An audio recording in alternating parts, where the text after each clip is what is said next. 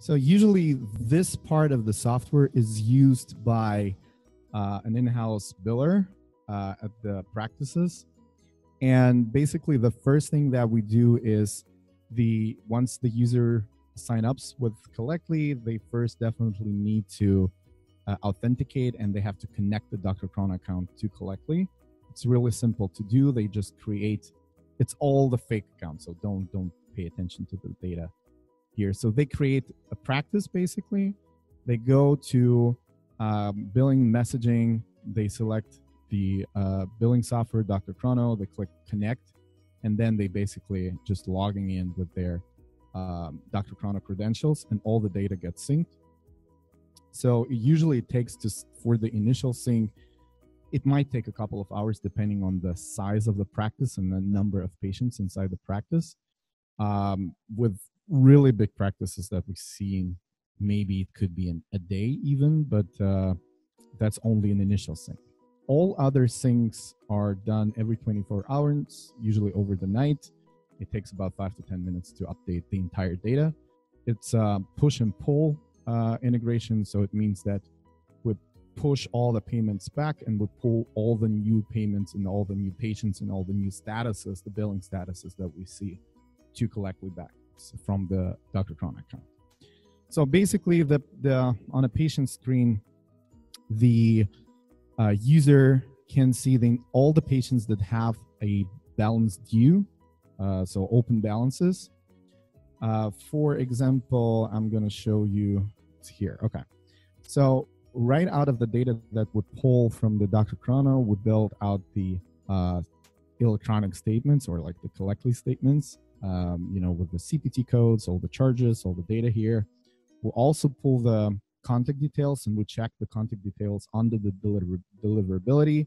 So we check if the emails uh, are deliverable in advance. Uh, we check if the phone that is stored inside the practice is a cell phone or a landline. It's really important since a lot of providers and especially your users are afraid that they don't collect enough emails to start the paperless billing. And it's not a problem for us since we actually bill the patients mostly through text messages. And it's a really i would say uh, it's really helpful for them since um, uh, they are uh, you know they're they they just never thought that that will be an option for them since they didn't have any procedure uh, prior to us of collecting the emails um, also um, I think, yeah, with, with the details. So basically, if the, the system collectively is designed so that the system uh, automatically identifies what is the best communication channel for every particular patient to communicate with. Um, then basically, once on the setup, the uh, usually it's a biller, but the uh, user uh, defines the workflow how the system will interact with the patients. And I will show you just in a, in a bit how it works. And the system starts to, it launches the system and the system uh, starts to actually build the patients. So this is the real patient experience that I'm going to show you today. So for example, the patient still receives a text message. There's a link, they click on a link and they go to a payment page, which is actually right now um, um, is, is live. So it's a very customizable page. Here might be the logo of your provider, uh, their practice, and the patients uh, can do a couple of things here. So first of all, they can uh, pay the full balance right away. Uh, they just click here without signing in. Uh, they just click here. They can either use store card or they can fill out uh, their new card or credit card details if they don't have any stored card on file. Click pay and all the money flows directly to their Stripe account they can build a payment plan also without signing in. Um, and basically, the first step is they select the amount they want to pay today. It's a, it's a down payment. Uh, they can use minus or plus buttons or just type in the custom amount. Then they select the monthly payment and fill out the credit card details and click subscribe. That's done.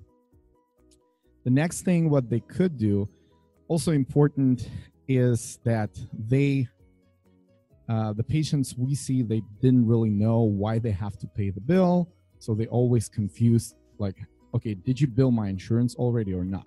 Since I paid a copay in, uh, uh, um, you know, inside the uh, practice.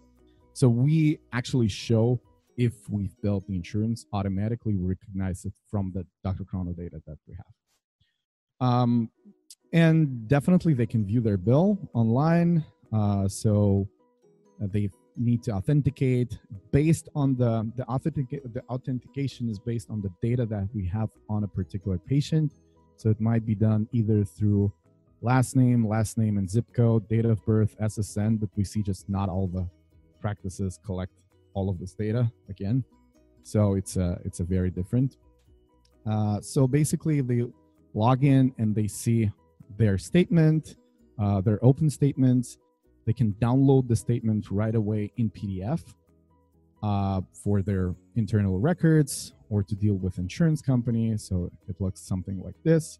They can use it for their own pur- purposes.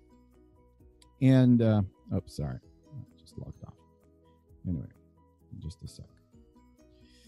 And uh, they can still either pay in full or build a payment plan. They can dispute the bill and they can contact through either a phone number or uh, the messaging.